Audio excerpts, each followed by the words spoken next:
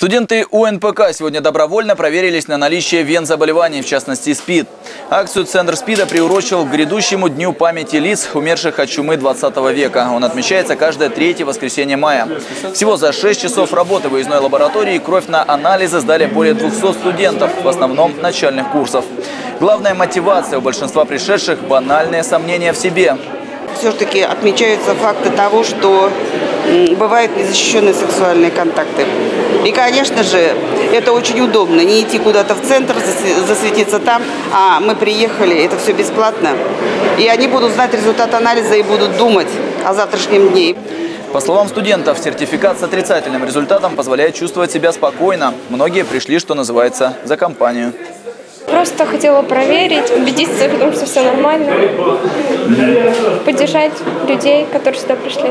Ну, хотел просто провериться, как и все люди вот из моей группы, не хотел отличаться.